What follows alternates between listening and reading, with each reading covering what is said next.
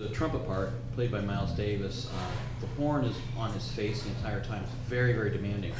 And even Miles knew better than to try to record everything in one session. And I think that's probably why this band only did two concerts, because it's so grueling uh, for the trumpet player. So rather than um, perform this music over three different nights, we're doing it all at once, four times this weekend. So sorry, Mark.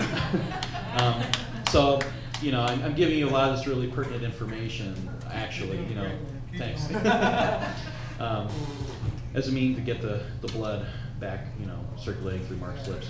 Here's another piece of music that was composed by Miles Davis and bebop piano player Bud Powell. It was scored for this band, arranged by John Lewis, the piano player, and this is called Budo.